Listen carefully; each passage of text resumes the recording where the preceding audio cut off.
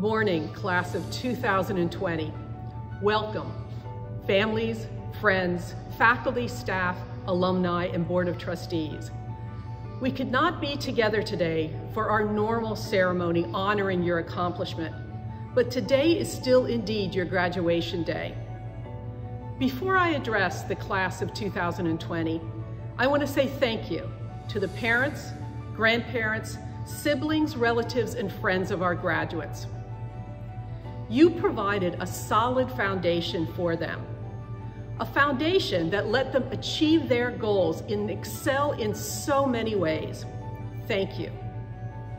To our graduating seniors, on behalf of the faculty, staff, and administration, we have been honored to be your partners, your guides, your mentors during your Muhlenberg journey. We have encouraged you and watched you flourish We've also taught you and learned from you. We have shared our lives together and grown closer as a community. Without doubt, Muhlenberg is a better place because of you. And for that, you have the gratitude of all of us at the college.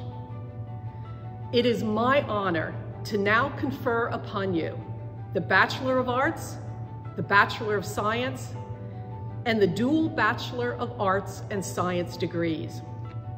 By virtue of the authority granted me by the Commonwealth of Pennsylvania, the Board of Trustees of Muhlenberg College, and upon the recommendation of the faculty, I confer upon you the degree for which you have been presented, with all the rights, privileges, and responsibilities pertaining thereto. Congratulations. Frederick Augustus Muhlenberg, the college's first president, lifted up two principles as the goals of a Muhlenberg education.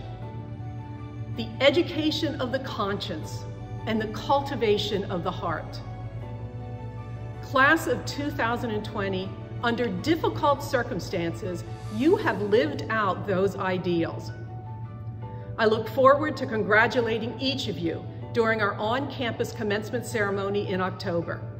Now, it is my pleasure to welcome you to the ranks of the distinguished Muhlenberg alumni who have come before you. Congratulations to the class of 2020.